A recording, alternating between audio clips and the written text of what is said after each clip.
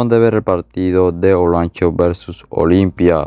Por segundo torneo consecutivo, Olimpia eliminó a las semifinales del maratón, valiéndose del primer lugar, obteniendo en vueltas regulares de clausura 2023 la serie entre ambos clubes grandes del fútbol hondureño no quedó de ver. Los blancos pegaron y los verdes volvieron a poner a temblar el equipo capitalino que sufrió para avanzar a la gran final. En un marco sencillamente espectacular en Comayagua, Olimpia demostró por qué es uno de los equipos con la mejor afición de Honduras. La fiesta era total en el Carlos Miranda. Jerry Beston lo confirmó en el minuto 18 tras cruzar de forma excepcional el arco de César Zamudio.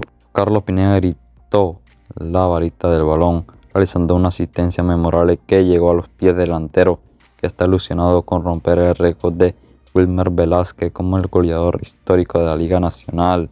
En los minutos posteriores, Maratón empezó a tocar la puerta de Mangíber Domín.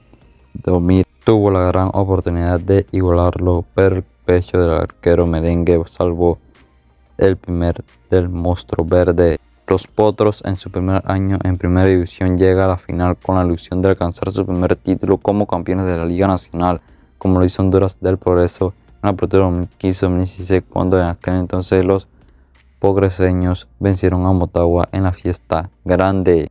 El equipo dirigido por Humberto Rivera llegó a esta instancia del torneo a finalizar en el segundo lugar de la tabla de posiciones de las vueltas regulares con 32 puntos en las semifinales barrio con Real España con un total global de 4 a 0.